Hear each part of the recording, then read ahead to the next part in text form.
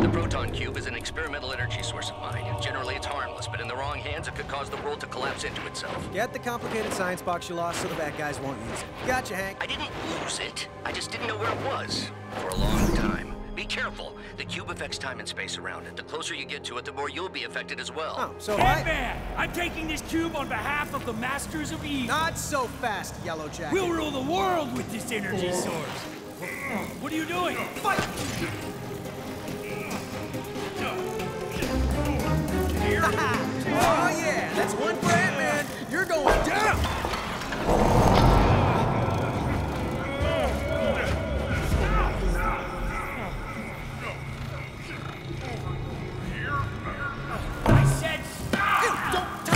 You if I want.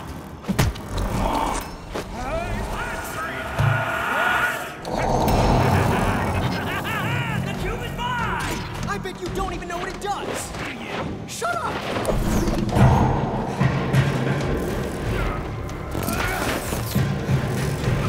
Hey, you! What did you Got something?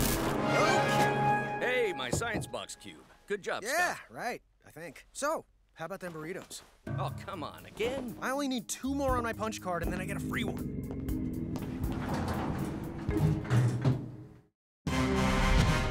This weather is amazing, Hope. Forget the movie. Let's go on a picnic. It'll be the perfect first date. No, no. This is not a date. Oh, yeah. First date fist bump. Scott, this, this is a date. This right here, not so much. I'm not following.